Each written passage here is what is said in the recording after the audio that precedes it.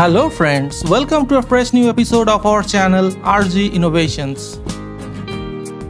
If you have not subscribed already, please subscribe to our channel, click on the bell button and select all to get all future notifications of our video uploads. In today's video, we are going to discuss about TTP223B digital touch sensor. In one of our previous videos, we have discussed about TTP223 capacitive touch sensor which uses the same chip but the board looks different. It's a red colored small module and today we are going to discuss the TTP223B touch sensor which is a blue colored module but uses the same IC TTP223. We will give the link in the i button and in the description of this capacitive touch sensor. We have made the video already. If you are interested, you can have a look at the video from the link. So let's learn about TTP223B digital touch sensor. The TTP223B is a capacitive touch sensor module that detects touch or proximity functioning similarly to a push button but without any mechanical components. It is widely used in applications where a simple touch interface is desired such as touch-based switches, proximity sensors, and touch panels. The TTP223B module offers an easy way to add touch detection functionality to a project without the need for complex circuitry or programming. Let's have a look at the specifications of the module. The supply power is 2 to 5 volt DC. The response time is 220 millisecond in low power mode and 60 millisecond in quick mode. Low power mode is when the device remains idle and quick mode is when the device remains active. Operating current is 1.5 microampere in low power mode and 3 microampere in quick mode. Output voltage. If the module is powered with a 5 volt, the output high voltage will be close to 5 volt. Output current. Typically around 4 milliampere. This means that the signal pin can source or sink up to 4 milliampere of current. Power on boot time. It's about 0.5 second. When we power on the device, it takes about 0.5 second to activate itself. Low power mode. The device enters low power mode approx after 12 seconds when the finger is released from the touchpad and if the finger is touched again within the 12 second the device remains in quick mode. Let us have a look at the pin diagram of the module. This is the front side of the module. The leftmost pin is the signal output pin. The middle pin is the 5 volt or VCC pin and the rightmost pin is the ground pin. This is the main IC of the module TTP223B. This is one key touchpad detector IC and here is one power LED which turns on when the device is powered up. And this circular printed portion is the touchpad. If we touch here the device activates. And this is the backside. In the backside also there is a touch sensor pad. This circular portion is the sensor pad. So if we touch here also the device will activate in today's demonstration, we will see the touchpad working with Arduino and working standalone. By default, this touch sensor is momentary. When we touch the pad, the device turns on and when we release the pad, the device turns off. There is no configurable part that we can configure to change it to toggle mode. That means touched once the device will turn on and touched once again the device will turn off. But I will show how you can achieve that. So please be with us Throughout the entire video, we will show many different functions of this module throughout the video. First, I will show you how you can use the module with an Arduino, how to achieve the toggle mode and how to achieve the active low mode. By default, this device is active high. When we touch, the output gets high and when we remove the touch, the output gets low. In the Arduino sketch, we will show three ways where we will use it as a momentary mode, as toggle mode and as active low mode. So let us have a look at the circuit diagram with the Arduino. Circuit diagram is very simple. We have connected the VCC pin with the 5 volt of the Arduino, the ground pin with the ground pin of the Arduino and the signal pin with digital pin 2 of the Arduino. Here at pin number 13 we have connected one LED in parallel with the built-in LED of the Arduino so that when the built-in LED glows this LED also glow.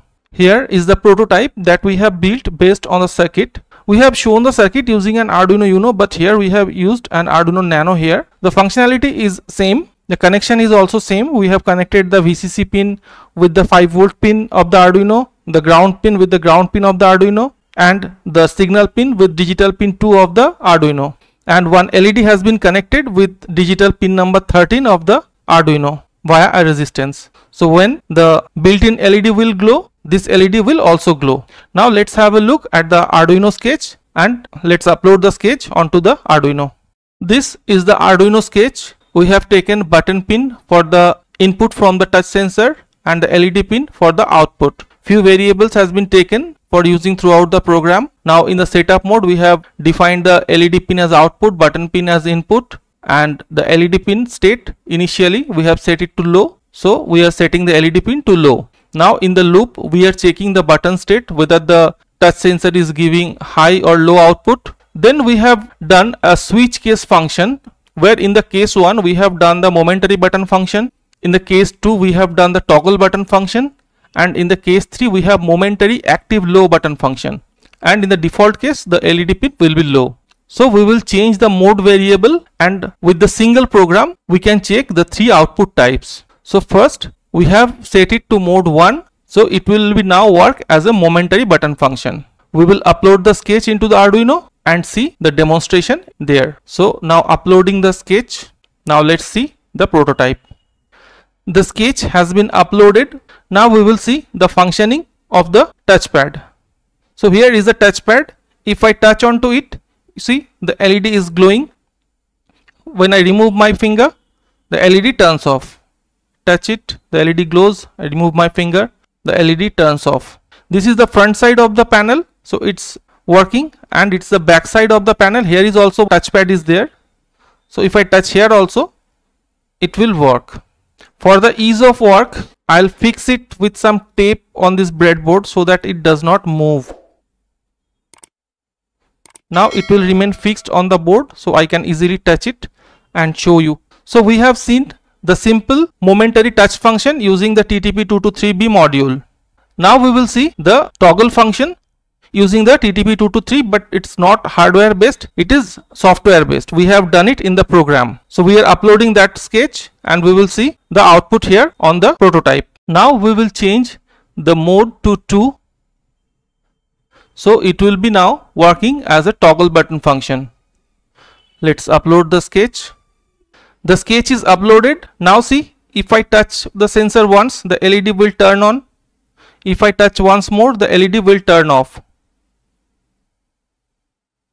this has now become a toggle switch. We can also convert it to active low momentary switch. We have done that also in our program and now we will change the mode to 3.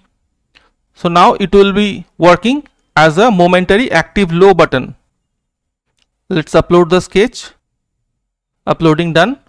Now you see this is active low mode. By default the output is high so the LED is glowing now if I touch the sensor, it will turn off and if I remove my finger, it will turn on. We have done it in momentary mode.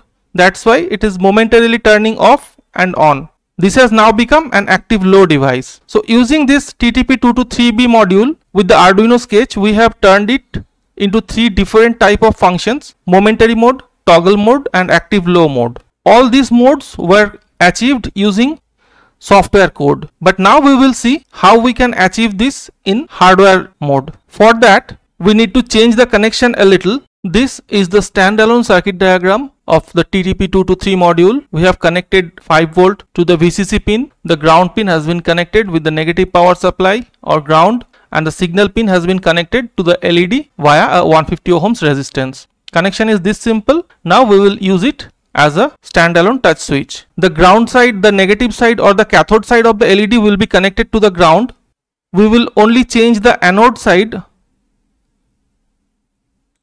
to a different row in the breadboard and the output pin or the signal pin from the TTP223 module will be connected to the anode pin of the LED. So we are taking only the power from the Arduino. The Arduino pins are not used now. I am removing this wire.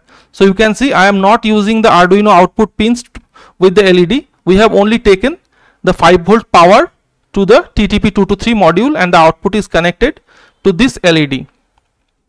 So if I touch now, you can see this is active high momentary mode.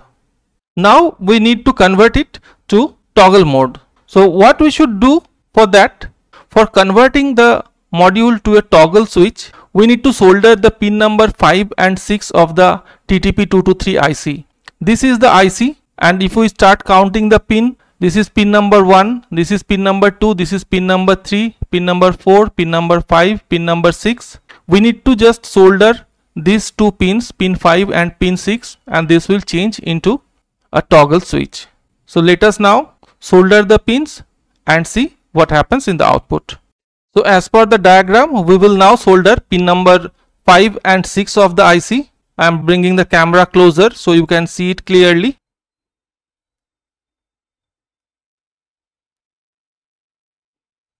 I think you can see it clearly. I am bringing it even closer. You can see that the pin number 5 and 6 are soldered now. The module has now turned into toggle mode. Let's see. If I touch once, the module will turn off if I touch once the module will turn on. Now I am removing the solder blob to make bring it back into the normal momentary mode.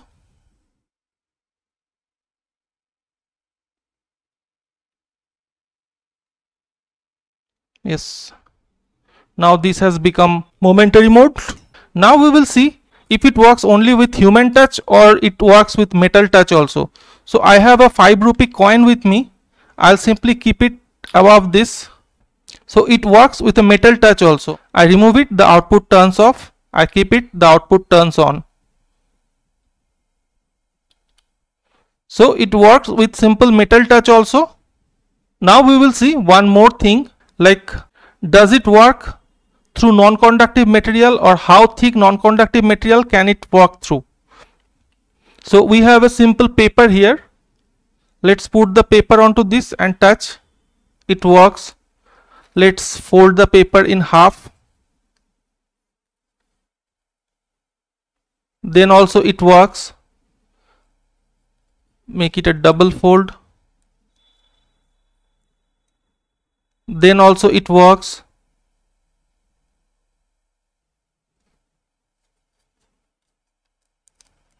Three fold then also it works.